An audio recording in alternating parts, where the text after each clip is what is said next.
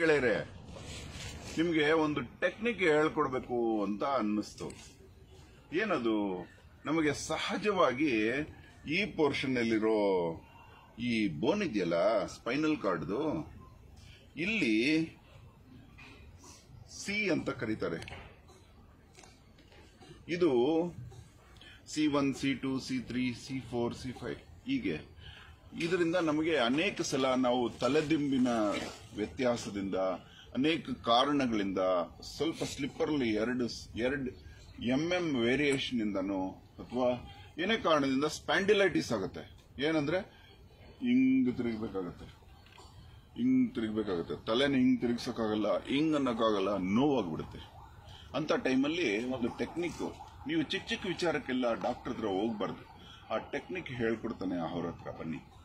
ಏನಿಲ್ಲ ನೀವು ಅಟೆನ್ಷನ್ ಹೀಗೆ ಒಂದೇ ನಿಮ್ಮದೇ ಆದ ಭಂಗಿಯಲ್ಲಿ ಈಗ ನಿಂತ್ಕೋಬೇಕು, ಇದಕ್ಕೆ ಬೇರೆಯವ್ರ ಸಹಾಯ ತಗೋಬಾರ್ದು, ನೀವೇ ಮಾಡಬೇಕು. ಹೇಗೆ ಅಂದ್ರೆ ನಮ್ಮ ಈ ಪೋರ್ಷನ್ ಇದೆಯಲ್ಲ, ಒಂದೇ ನೆಟ್ಟಿಗೆ ಮೇಂಟೈನ್ ಮಾಡಬೇಕು, ಕದಲಿಸಬಾರ್ದು. ಮೊದಲನೇದಾಗಿ ಕೈನ ಮುಂದೆ ಹೀಗೆ ತಗೋಬೇಕು. ಈ ಕೈ ತಲೆಯಿಂದ ಪ್ರೆಸ್ ಮಾಡಬೇಕು. ತಲೆ ಇದ್ದ ಜಾಗದಲ್ಲೇ ಇರಬೇಕು. ಕೈ ಆ ರೀತಿ ಮೇಂಟೈನ್ ಮಾಡಬೇಕು ನೀವು. ಸ್ವಲ್ಪ ಹೊತ್ತು ಆದ್ಮೇಲೆ ಬಿಡಬೇಕು. ಮತ್ತೆ ಈ ಕಡೆ ಹಿಂದ್ಗಡೆಯಿಂದ, ಹಿಂದಕ್ಕೆ ಪ್ರೆಸ್ ಮಾಡಬೇಕು ತಲೆಯಿಂದ. ಕೈಯನ್ನು ಪ್ರೆಸ್ ಮಾಡಬಾರ್ದು. ಕೈ ಇದ್ದ ಜಾಗದಲ್ಲೇ ಇರಬೇಕು. ಆ.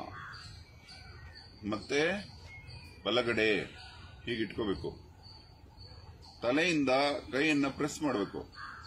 ತಲೆ ಇದ್ದ ಜಾಗದಲ್ಲೇ ಇರಬೇಕು. ಮತ್ತೆ ಈ ಕಡೆ ತಲೆಯಿಂದ ಕೈಯನ್ನು ಪ್ರೆಸ್ ಮಾಡಬೇಕು.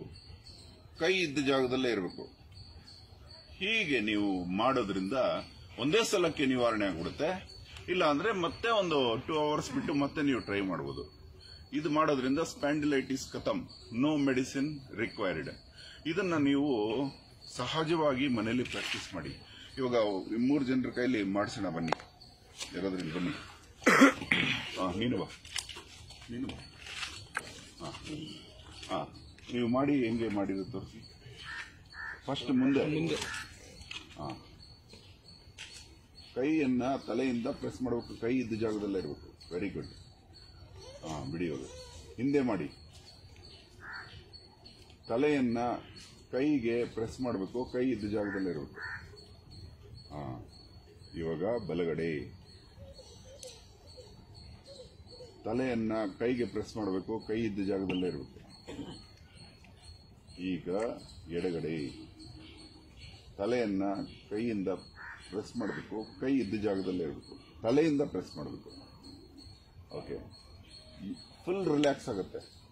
ಇದನ್ನ ನೀವು ಮರಿಬೇಡಿ. ಇದನ್ನ ನೀವು ಇನ್ನೊಬ್ಬರಿಗೆ ಕಲಿಸಿ, ಭಾರತದ ಆರೋಗ್ಯ ವೃದ್ಧಿಯಾಗಲಿ. ಧನ್ಯವಾದ. ಅಹೋರಾತ್ರ.